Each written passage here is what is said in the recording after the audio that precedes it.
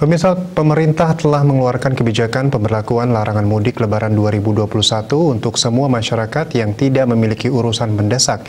Terkait hal tersebut, Sekretaris Satgas Penanganan COVID-19 Provinsi Bali, Imadi Rentin, menegaskan penjagaan di pintu keluar masuk Bali akan diperketat dan ada syarat tambahan mulai 9 Mei 2021 untuk mencegah terjadinya gelombang mudik dalam jumlah besar.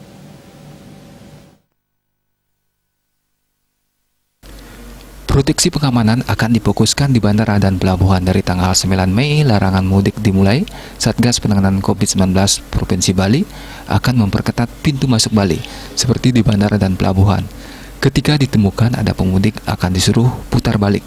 Kendati demikian ada pengecualian untuk masyarakat yang tetap diizinkan mudik.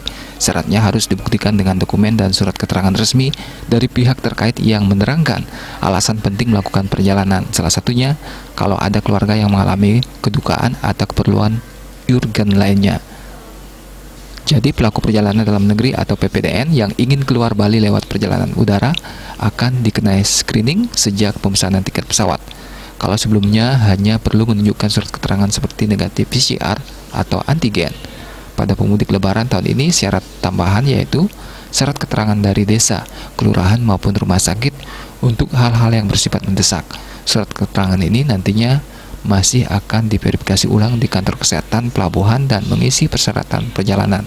Rentin juga mengatakan, pada Ramadan kali ini ada pedoman khusus untuk umat muslim di Bali dalam menjalankan ibadah Syaratnya tetap taat protokol kesehatan. Winata Bali Pos melaporkan.